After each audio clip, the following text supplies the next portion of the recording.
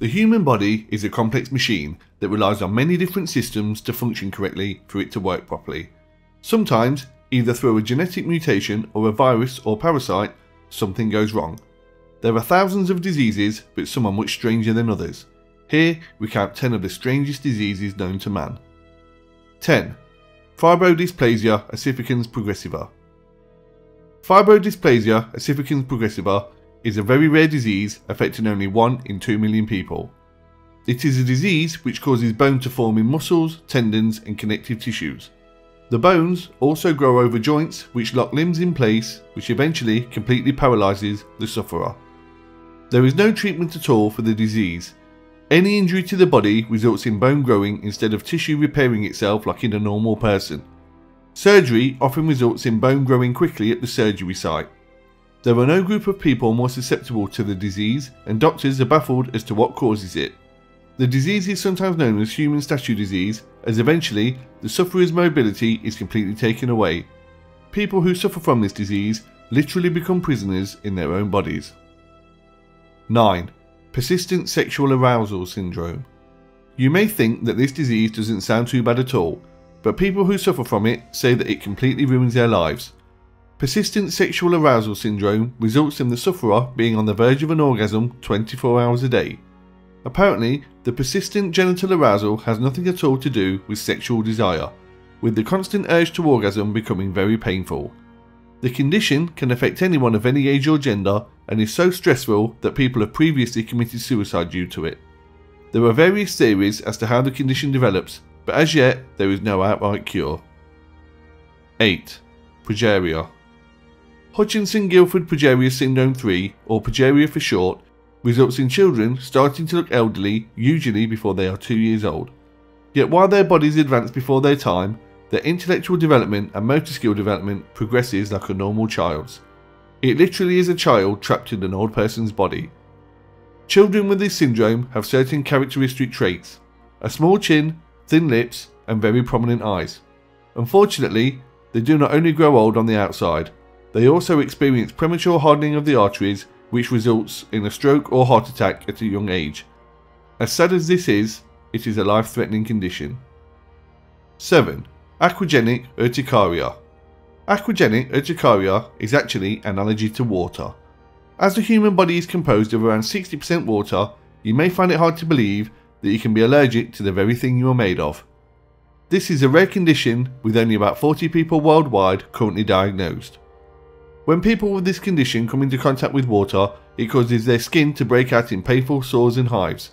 In severe cases, a person's throat can swell due to the allergy, which is obviously life threatening. Doctors are unsure as to what causes an allergy to water, but some think that sufferers have elevated histamine levels and that this plays a role.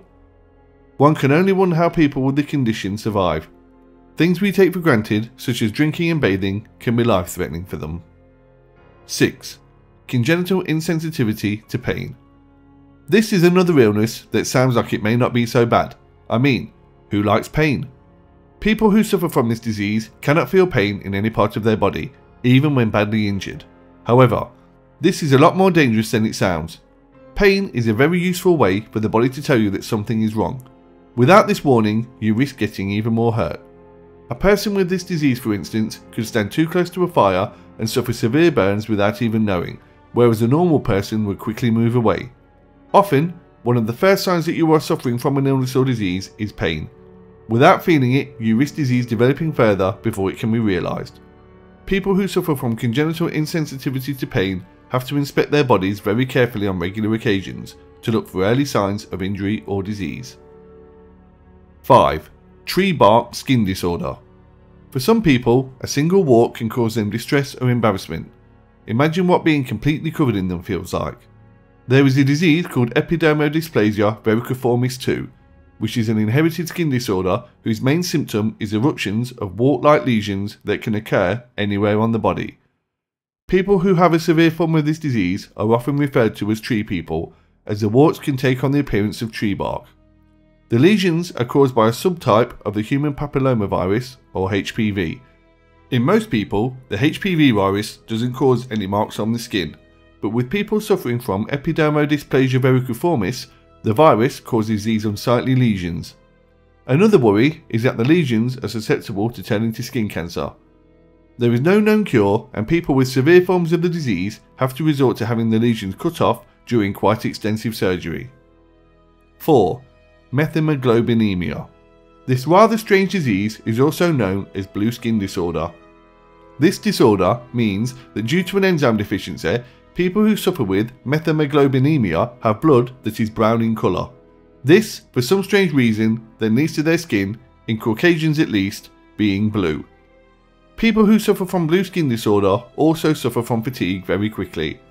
The Fugate family of Kentucky, USA have this genetic condition running the family. It led to them being known as the Blue Men of Kentucky. 3. Elephantiasis.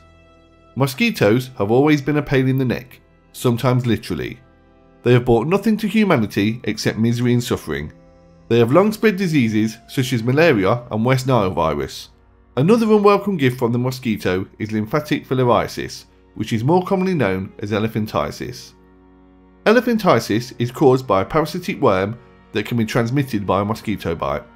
The worms live in the lymphatic system of the infected host and block lymph nodes, obstructing the flow of lymph within the body.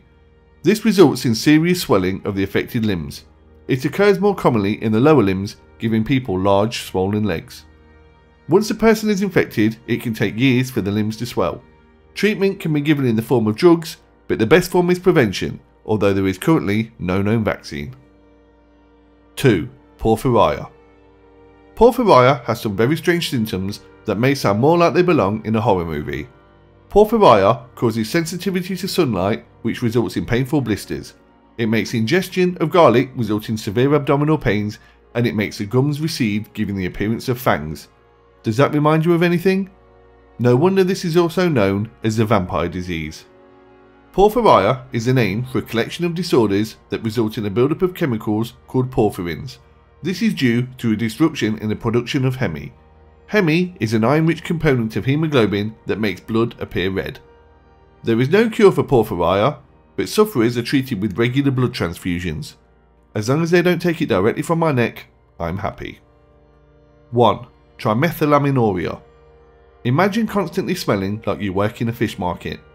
People who suffer from trimethylaminuria 7, also known as fish odour syndrome, emit a strong, fishy smell through no fault of their own. The smell is excreted in sweat and urine and is even prominent on their breath.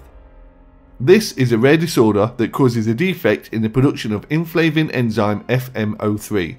The condition is usually hereditary and is more common in women than in men. It is suspected that the female hormones, progesterone and estrogen, aggravate the condition, with symptoms becoming worse once the sufferer reaches puberty. In later life, symptoms are more notable during menstrual periods and during the menopause.